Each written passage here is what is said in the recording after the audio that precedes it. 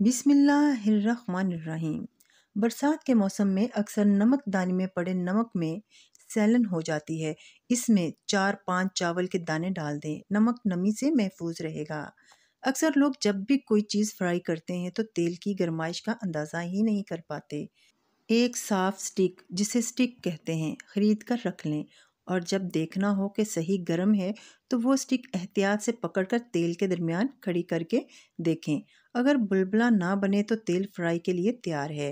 अंडों को उबालने के बाद उनका पानी ज़ाया मत करें, बल्कि अपने पौधों को डाल दें। उनकी नशोनुमा में हैरत अंगेज़ इजाफा होगा।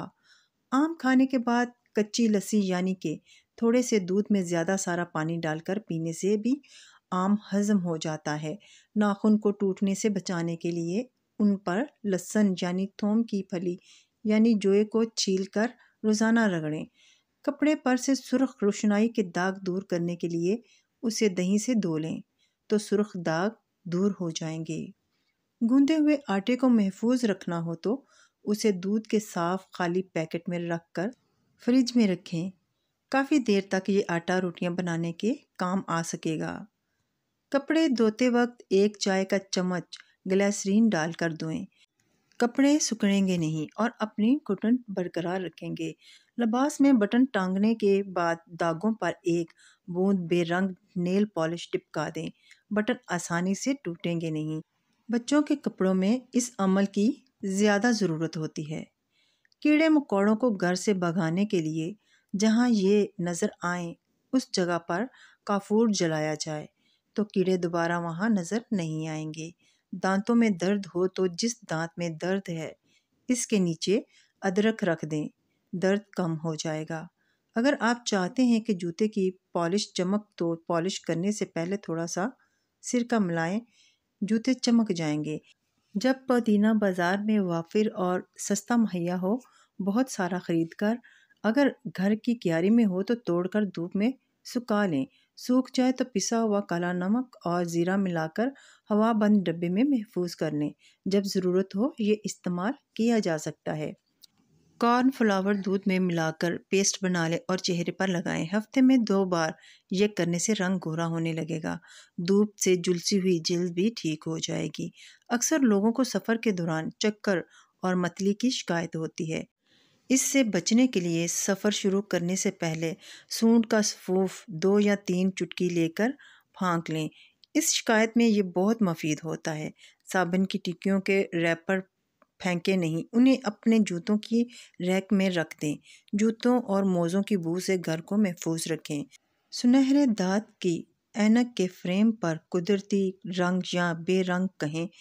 नेल पॉलिश लगाएँ। इस तरह कभी कभी ये अमल करने से ऐनक का सुनहरी फ्रेम अरसे तक अपना सुनहरी रंग महफूज रखेगा। सर्दियों में अक्सर होंठ फट जाते हैं। ताज़ा कच्चा दूध होंठों पर रोज़ाना लगाने से आराम आ जाता है। सर्दियों में पाँव की एड़ियाँ फट जाएँ तो ग्लाइसरीन में देसी साबुन के टुकड़े डालकर फटी हुई जल्द पर भर दें।